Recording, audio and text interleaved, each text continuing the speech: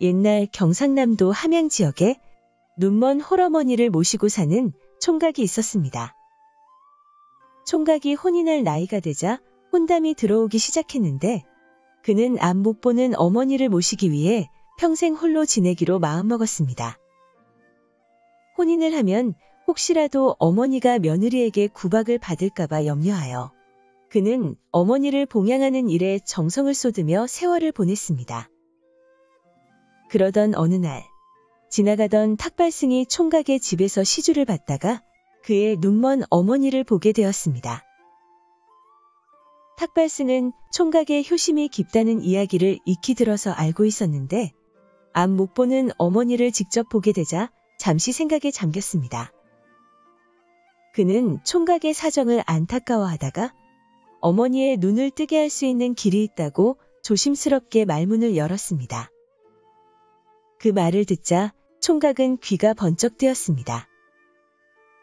그러나 그게 쉬운 일이 아니라서 총각은 어머니의 눈을 밝게 할 수 있다면 어떤 일이라도 하겠으니 방법을 알려달라고 매달렸습니다.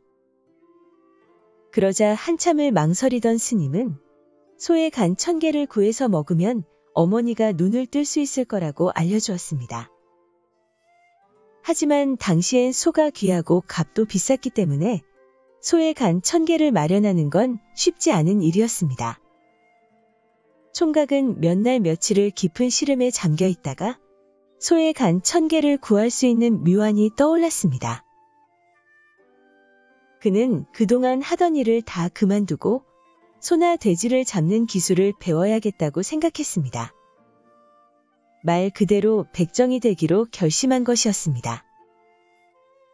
백정은 돈이 많아도 명주옷을 입거나 가죽신을 신을 수 없고 결혼식 때 말이나 가마도 탈 수 없으며 죽은 뒤에도 상여조차 쓸 수 없는 천민 중에서도 가장 천대받는 계층이었습니다.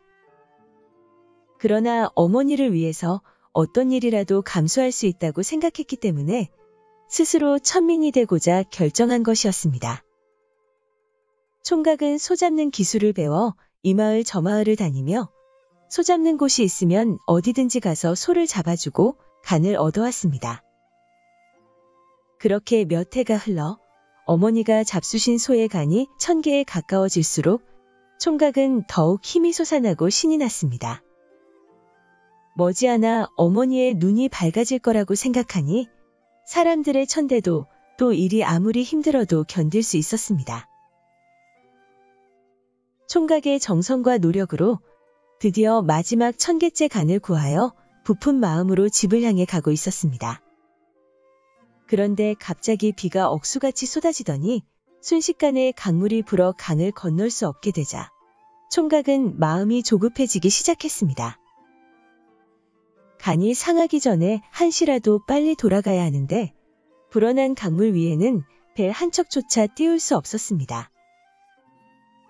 총각은 간절히 기도하는 것 외에 뾰족한 수가 없어 발만 동동 구르고 있었는데 난데없이 빈 조각배가 상류에서 천천히 떠내려오고 있는 것을 보게 되었습니다. 총각이 겨우 조각배를 붙들고 보니 누구 하나 탄 흔적도 없는 새로 만든 배였습니다. 상류에는 그런 배를 띄울 곳도 또 만드는 사람도 없는 걸로 알고 있는데 어디서 조각배가 떠내려왔는지 도무지 알 수 없었습니다. 주변을 돌아봐도 배에 임자로 보이는 사람이 없자 총각은 장대를 구해와 노를 젓듯 물살을 헤치며 무사히 강을 건널 수 있었습니다. 그가 도착하자마자 조각배는 소용돌이에 휩쓸린 듯 순식간에 사라져버렸고 그 모습을 본 총각은 하늘이 도와주신 거라 생각하여 그 자리에서 큰 절을 하고 천지신명께 감사를 드렸습니다. 총각은 집에 도착하자마자 간을 구워 어머니께 드렸고 이후로 어머니의 멀었던 눈은 점점 밝아지기 시작하였습니다. 그렇게 어머니가 눈을 뜨자 그 소문은 이고을에서 저고을로 두루 퍼지게 되었고 마침내 조정 대신들로부터 이야기를 전해 들은 임금은 총각에게 효행비를 내려 그의 효성을 기리게 했다고 합니다.